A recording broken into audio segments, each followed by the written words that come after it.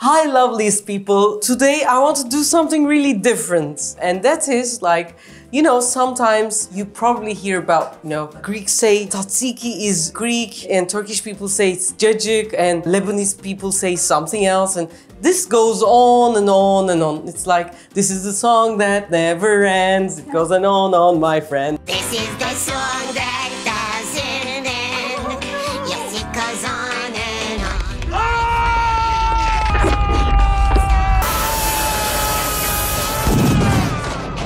With that attitude, what I'm saying that these great food that we have in the world belongs to all of us. We are just like different keepers of it. So today I want to show you a table that if you fly to Turkey and went to Antakya, a table that you will likely visit if you go to a restaurant, you'll see that it's rather different than what you would have in Istanbul or Ankara or Izmir. And there are so many different cities like this in Turkey. If you go to the central Turkey, which is Nevşehir and Kayseri with mantas and it's a different story when you go to Izmir. It's more like rakı and mezes. Kars is a totally different story, etc., etc. So it's a different world everywhere. And I just wanted to show you one of those cities. And let us celebrate on these days that we are more likely in our homes. We can make feasts with our hands and create something that will soothe us, that will make us happy, and sharing it is the most valuable one. So if you have like few people that you see, you can share this with those people, and I would be so, so very happy. The main dish is the tepsi kebab. Tepsi kebab is a traditional thing from Antakya. You just get one bite, you fall in love with it, and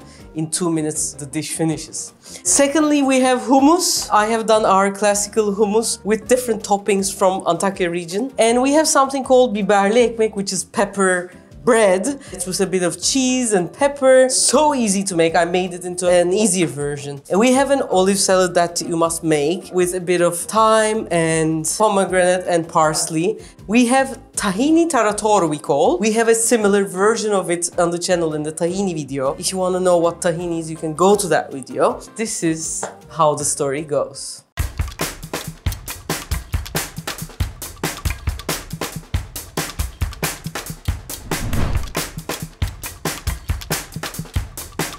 Now, let's start with the pepper bread. Pepper bread is this bread which is cooked in the streets of Antakya. It's crunchy at the middle, and on top of it, there's pepper paste, and together with some cheese and incredible goodnesses. I'm going to give you a five minute recipe to make this bread. First, I have to dice my cheese. Here I used feta cheese, but originally some kind of çökelek, which is similar to ricotta, is used. After dicing the cheese, we need some onion. We finely chop the onion and then mix the onion with the cheese. Onion's acidity helps the cheese to dissolve to the whole flatbread much faster. To the mixture, I add some pepper paste, nigella seeds, and sesame seeds. Then I have great green olives. I take the seeds out and mince them. This is a great meaty texture and it will add a great dimension to the flatbread. And here I have some kekik, which is a form of thyme. Finally slice it and add it to the mixture. If the mixture sits for about 2-3 hours, it would be great. But if you don't have time, take a flatbread, it could be a tortilla if in your country it is sold, and then distribute the greatness and put it in the oven. First to the bottom side for about 2 minutes and then to the top level for about another 2 minutes. So in 4 minutes, incredible pepper bread is ready.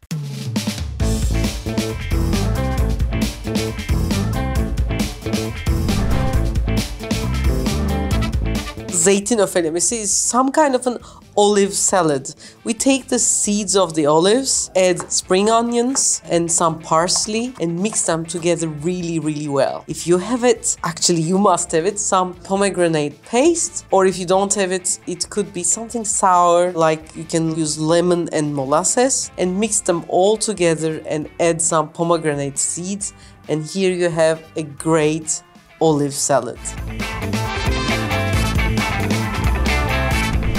And now we have something called tahin tarator. Tarator means different things in I know different languages, but this is a great side dish for any kind of meat. It is a heavenly thing for vegans as well. To make this, I have some walnuts. I finally chopped those walnuts two cloves of garlic. I crush them and mince them really well with a bit of salt add a bit of tahini, some water, and some lemon. The acidity first holds together the tahini, which is the sesame paste actually. Then when I whisk it, slowly it turns into this really good textured greatness. And you can eat it with bread, you can eat it with meat.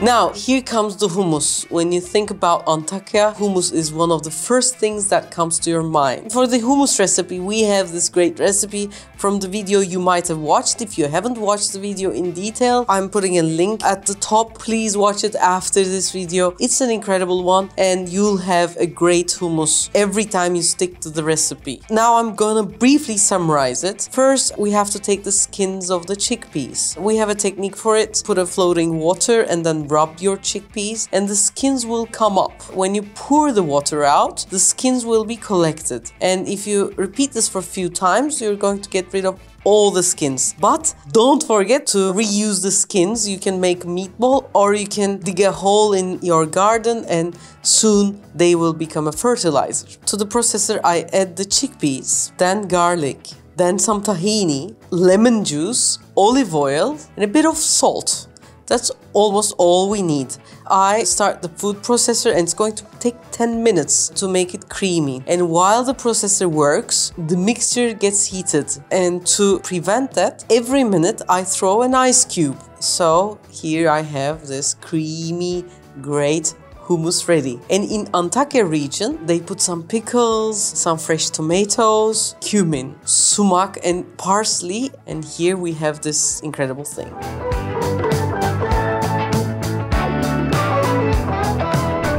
And I've put the best to last. When you go around Antakya, one thing for sure you're going to eat is tepsi kebabı. And tepsi kebabı is probably done in the streets of Antakya for centuries and centuries. And in the ancient Long Bazaar in Antakya, there's this place which I have visited and ate my tepsi kebabı for the first time. And then I later fell in love with it. Normally, the butcher minces the meat in front of you and then adds the goodness and puts them into a tray, send it to the bakery which is around next door and the baker cooks the meat and also makes a fresh bread and sends both of them to you to eat. So I wanted to turn this recipe to an easier version so that everyone all around the world can make at home. For the ingredients, we don't need much. We need the minced meat, parsley, onion, garlic, red pepper and green peppers. You can use any kind of red pepper you like. Instead of chopping the meat, I bought from my butcher one-time grinded meat. If you have hamburger meat already in the fridge, you can also use it. After I add all these ingredients, I mix it very very well. About 4 to 5 minutes, I knead it. This is very important. This makes the whole köfte stick together. Then I put some olive oil to the tray so it won't stick to the bottom. And then by pressing the whole meat, I make it round and thin. It will become about one and a half centimeters thick. With a wooden spoon, I push the meat from the side so that it becomes more circular. Then on the side, I add some pepper paste and put some warm water and mix them together and spread that mixture on top of the meat and some peppers, onions, tomatoes. These look great and when you wrap and make a durum, they are going to be incredibly tasty. I put it in the oven to the highest heat, which is 280 degrees Celsius in my oven. And then I put it to the middle rack. When it's cooking, the kitchen is going to smell great. And then when you take it out, what you should do, there's going to be some water you have to wet your bread with the water and then get some meat and put onion, tomatoes and peppers and wrap it and eat it. It's going to be delicious and the water and the kebab is to die for. Hope you like this video. Please tell me whether this was like too complicated or it was fine. Whether you would want less food but detailed explanation or something like this. If you haven't subscribed, subscribe to the channel. If you are already subscribed and you would like, oh yes, John would be really interested or Hazar would be really interested. If you have those friends and people who are interested from all over the world, please, please, please, please subscribe and share the news. Take care.